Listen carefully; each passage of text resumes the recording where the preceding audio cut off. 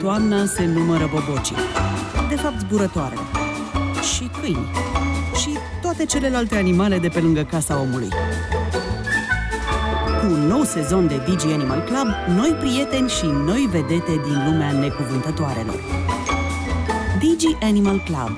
Și oamenii sunt bineveniți. Duminica de la 20.30 pe Digi Animal World. O altfel de lume.